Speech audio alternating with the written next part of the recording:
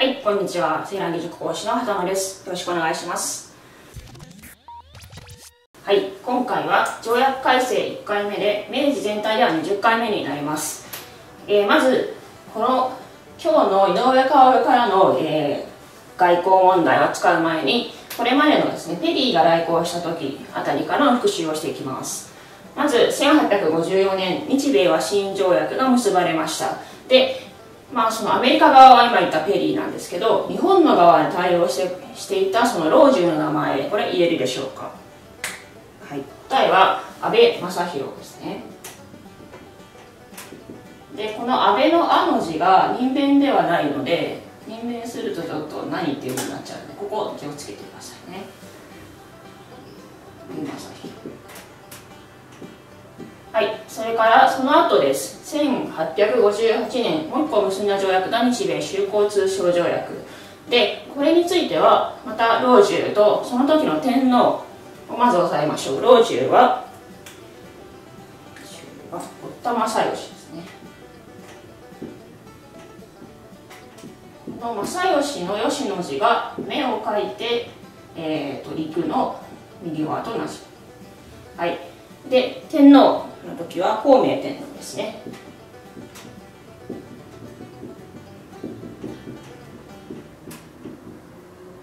はいではこの孔明天皇と堀田正義の間で何が起こったかというと思い出せるでしょうか。もしちょっと忘れちゃった方は絵表の12番やってます。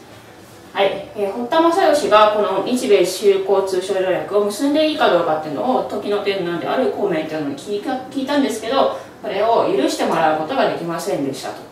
でまあそれいろいろあってえ堀田さんが辞任をして次大老であるこれいいですか？井伊直輔この井伊直輔がその条約に関する仕事を引き継ぐわけなんですけどこの人は逆に直居、ね、天皇の許可を得ることなくもう独断で条約を結ぶことにしてしまいます。でその結果、え条約を結ぶことと反対だった人からまあ、反発を買ったりとかいろいろして結局は、えー、サグラダ門外の辺で暗殺をされると。いった流れでした。はいその後です。少し時代がきますが1871年これ岩倉使節団岩倉智美をリーダーとするメンバーが、えー、欧米に視察に行きます。でただ見て回るだけじゃなくて目的の一つとしてこういった不平等なこの条約の改正をする。そのための交渉をしたい。という目的がありました。で何が不平等だったかというとえーと、領事裁判権が、ね、日本に認められていないこととかあとは関税ですね。関税自主権が何かまあいろいろありますけれどもその辺りもこう見て復習をしておいてください。でその後です。岩倉使節団がいた後は寺島宗則が対応しますが結局改正できずに次が今回のこの井上薫の時代になります。この人1882年からこの仕事に就いています。で特徴としては六名間外交という言葉に表されるようにこの六名間というそれに外国人を接待する、まあ、社交場があるんですけどここで、えー、非常にその外国に合わせた、ね、極端な、えーと、と主義とかって言われますけどその接待をしてその中でこう条約の改正案を提案していくと。で内容としては内地雑居を認める代わりに領事裁判権を撤廃させてくださいということですで内地雑居これは日本の国内に外国人が住んでもいいよっていうふうにしますそれに日本の中には日本人と外国人が入り乱れている状況です。で内地雑居といえば以前もその樺太北海道があってこの樺太は内地雑居の地だけどとかっていう話があの千島からふと交換条約とかあの辺りでまたやりますのでこの言葉は覚えておくと役に立つと思います。はい。でこういう条約改正案を、まあ、提示したんですけどじゃあ反応はどうだったかこちら側にあります。はい、欧米諸国は一応まあそれいいよと了承してくれたんですが日本の中では極端なオーバー主義に対して批判が起こります、まあ、こういう6名間で接待するのちょっとやりすぎじゃないかと。いったこともあり結局はこの改正は中止になってしまいました。でそんな時にもう一個事件が起こります。1886年です。ノルマントン号事件ですね。これはあの教科書に写生があったりするので見たことがある方は多いと思いますが、えー、と説明しましたね。ノルマントン号っていうのはまずイギリスの船です。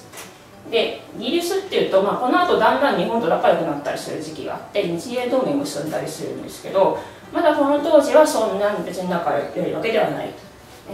でまあ、イギリス船なのでイギリス人の船長が乗ってます。それプラス日本人の乗組員がいたんですがこれがちょっと事故に遭った時に日本人の乗組員をこの人は救助せずに見殺しにしてしまったというのがまあ事件の内容です。ただし、えーと、こういった、えー、外国人が起こした裁判について裁判で事件について、えー、何にさ何によって裁かれるかというとイギリスならイギリスの法律で裁くのでこういう本来ならまあこれは有罪と言うべきものかもしれませんがイギリスの法律に基づいてイギリス人が裁いた結果無罪にしましたよっていうのがノルマンドの大事件ですね。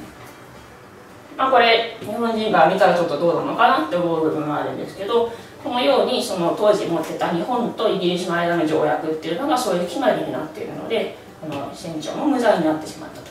こういった事件がありました。で井上薫はその責任を取って辞任することになったと、はい、ここまでが井上薫の時代の話です。でその後ですね、えー、大熊さんかな、まあ、この後にどんどんまだ続いていくんですけどそちらの方につきましてはこの丸条約体制丸2でお話をしますので今回は以上です。ありがとうございました。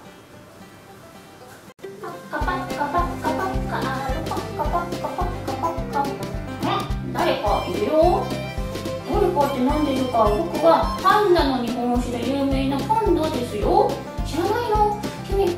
生損してるよ。なんだっけというわけで Always be ambitious まずはチャンネル登録してね。よろしく。